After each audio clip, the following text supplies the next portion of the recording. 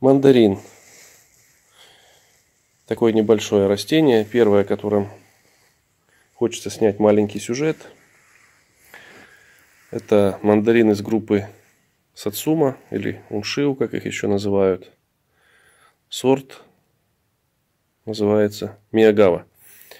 Э, это Миягава нуцелярная, то есть улучшенная Миягава которая отличается более крупными плодами, сладким вкусом и раннеспелостью. Вот снимаю я сейчас его в начале ноября. Как видим, уже полностью созревшие плоды. Даже можно сказать, что перевесели. Можно было и раньше снять.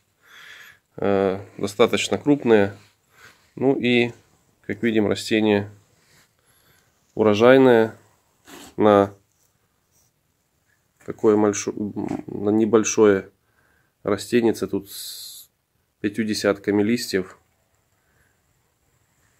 Завязала, выносила 8 крупных плодов. Сорт происходит из Японии. Миагава обычная в свое время была самым э, распространенным или одним из самых распространенных видов сортов, точнее мандарина в промышленных плантациях. Выращивалась в Советском Союзе. Ну вот этот э, отобранный нуцелярный э, подсорт, скажем так, или э, подвид этого мандарина – Э, еще улучшивший качество традиционного сорта. Тоже был отобран в Японии и сегодня э, пользуется тоже большой популярностью на промышленных плантациях. Растение это из Италии, из питомника Тинтари. Вот видим, бирочка здесь сохранилась.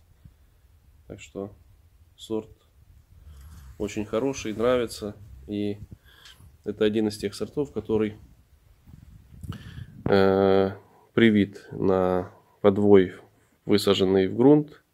Так что ставка на него, я думаю, что на корнях грунте, конечно, при такой урожайности мандаринами мы будем обеспечены. Для сравнения сейчас хочу показать, как выглядят плоды на обычной миагаве, не нуцелярной. Ну, конечно, была разница небольшая и во времени цветения, но тем не менее, вот миагава это плодики миагавы обычной. Помельче они, ну и стадия зрелости, конечно, только начальная по сравнению с нуцелярной миагавой. Так что,